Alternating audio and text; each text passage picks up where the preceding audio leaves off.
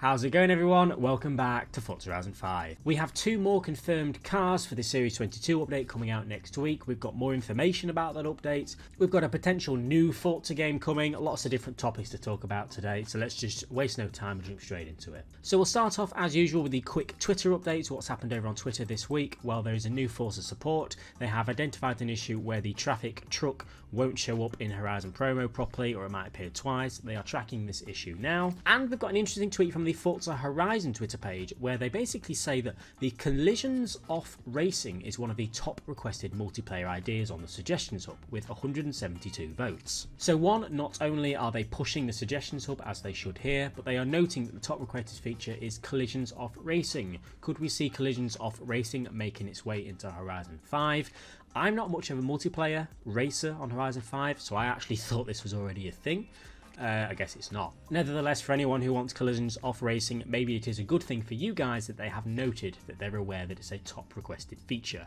It's worth noting that the top requested feature only has 172 votes. Come on, guys, there needs to be more of us using that suggestions hub. What else have we got? Well, let's cover the two new cars which are coming out next week in Series 22, or at least we can presume that they are. You may have seen a couple of days ago we touched on the preview that we got of the Donut Media Part 2 update, or upgrade heroes. Well, we had a bit of gameplay of the first chapter of the New Horizon story, which is right here. Now I didn't catch this at first, but it very soon came to light as soon as this trailer was public. But those two cars that zoom past the screen right at the beginning, those are two cars that are not in the game. If we freeze frame on those two cars, we can see that this right here, a black car, looks kinda cool, a white number one on it, that is the Pagani Huayra R. And the car just after that, the blue car, we're pretty sure is the Lotus Emira. I don't know how to pronounce that. So that's two really cool cars that we presume are going to come within the Donut Media update. I don't see why they would be within this sort of story if they're not included in Series 22. So the Pagani Huayra R and the Lotus may just be coming within the update as well. So we've got those two cars.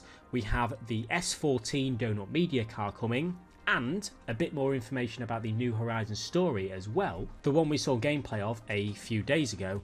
This is going to be a 13 chapter long story, so it's a fairly lengthy story, which is what we like to see, and they're going to be a total of four reward cards. Now, I'm pretty sure we've been told that two of them reward cards will be the high and the low 350Z.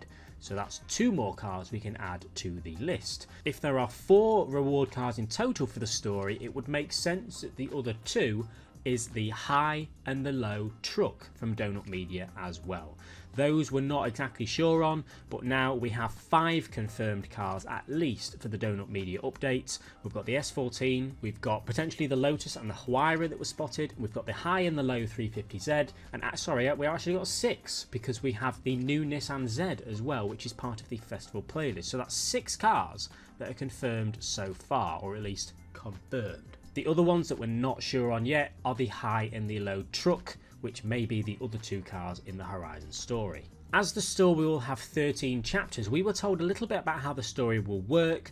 We know that you start off in a stock 350Z and you can pick which route to take. You can pick high, as in the high team, or you can pick low, the low team. Obviously, the story is high and low car. Now, whichever one you pick, let's say you pick high car, that will determine how the rest of the story goes. You will be stuck in high car, you will, you will have that story route to progress. Now, it does say once you finish the Horizon story, you can go back again and try the other route. So you can go back and try the low route. So it basically gives you two plays of the entire story in different teams, if that makes sense high car and low car. And that sounds pretty damn cool. It seems like we're maybe getting a new feature, or at least a returning feature in a different way in this update as well.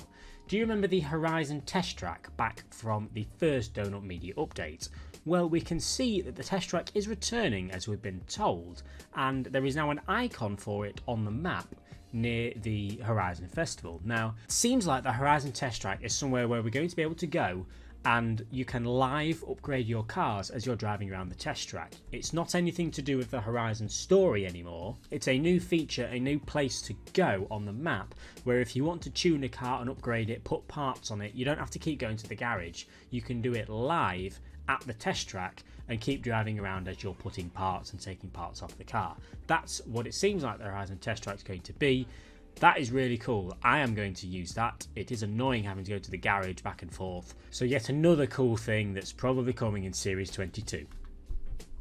It's worth noting that Playground Games very, very rarely have a new car on the full playlist page here, unless all of the other months within the festival playlist already have new cars in them. I can imagine there is probably a new car in summer, autumn, winter, and spring, and they've added the fifth new car, which is a Nissan Z, to the full playlist screens. This update could see up to 10 new cars potentially. What else has happened? Well, we have a potential new Forza game, or Forza style Forza game made by Hutch. Hutch is a game studios that have developed games such as the F1 Clash game, Rebel Racing, Hot Wheels Race Off. We can see the, the handles of all the games that they have developed in the past on their Twitter page here. Well, they have announced that they have partnered with Turn 10 Studios on a new standalone mobile game. We can see details about it here, but the key points of this are that this new game that will be fully revealed in due course will focus on car customization as a core gameplay mechanic, and it's obviously a mobile game is the whole point of it. Now, it may not be titled as a Forza game because it's Hutch making it with Turn 10 advising them on it. Now, Turn 10 is the owners of Forza, I guess you could say. I think if there's anybody you want to help you on a mobile car racing customization game, Turn 10 Studios is a pretty good pick for that. This is probably going to be quite a while away. They said these talks started in 2020, which is you know three years ago now.